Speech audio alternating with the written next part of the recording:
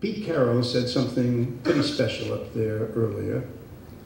He spoke of who you are. And I would add that to know who you are, you darn well better figure out what you believe in. And what you believe in should, in my judgment, be the essence of a well considered life.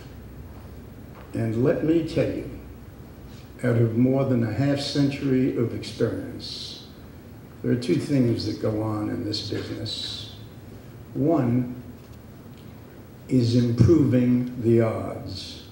No matter what anybody says, no matter what anybody writes, no matter how gifted you are, what distinguishes you from the others whether you're an entrepreneur, an employee, the owner, is how well you improve the odds.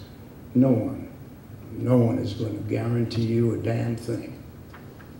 Now, how you go about improving the odds has to do with who you are, and who you are is a function of what you believe in and figuring out what you believe in is the crucial purpose of anybody's journey.